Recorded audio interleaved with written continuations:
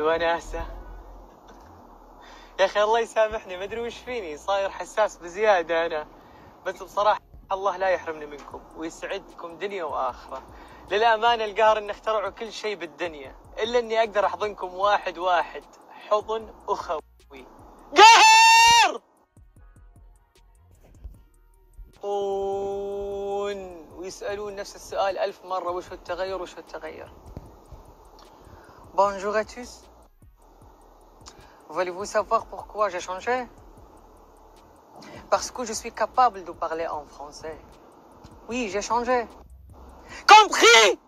صدم الفنان السعودي راكان خالد رواد مواقع التواصل الاجتماعي بأحدث ظهور له بعد غياب عن الساحة الفنية دام ثلاث سنوات تقريبا إذ تخلى عن الزي السعودي التقليدي الذي عرف به وأطل بشعر طويل منسدل.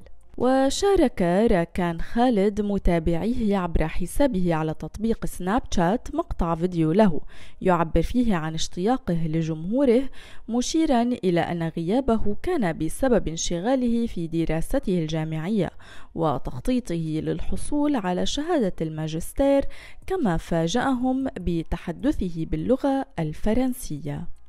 وطالب المتابعون راكان بالعودة إلى سابق عهده لا سيما وأنه بدأ أكثر أنوثة على حد تعبيرهم إلا أنه رفض ذلك في فيديو شاركه عبر حسابه الرسمي على إنستغرام. وشبهه الكثيرون بمشهور السوشيال ميديا بدر خلف الذي يثير الجدل على الدوام بظهوره كامرأة فكتب أحد المعلقين على خطى بدر خلف. وكتبت إحداهن ركان لا تصدمنا عاد. كانت أغانيك جميلة وكنا نحبك. لا تخربها عاد. وأضافت أخرى ليتك ما ظهرت بعد غياب. وأشار عدد آخر من المتابعين إلى أن المشهور السعودي يخطو خطوات الفنان الراحل مايكل جاكسون وأشار عدد منهم إلى أن الشبه بات قريبا بينهما. من هو راكان خالد؟ راكان خالد هو مغن سعودي. بدأ الغناء منذ الصغر. دفعه حبه للموسيقى بخوض غمار الفن وكانت أولى أغنياته يا نار شبي للفنان محمد البلوشي. كما شارك في برامج قناة اقرأ بأغنية يا الله من كلماته وألحانه. وشارك أيضا في المقدمة الغنائية لبرنامج رحلة عمر للشيخ علي أبو الحسن.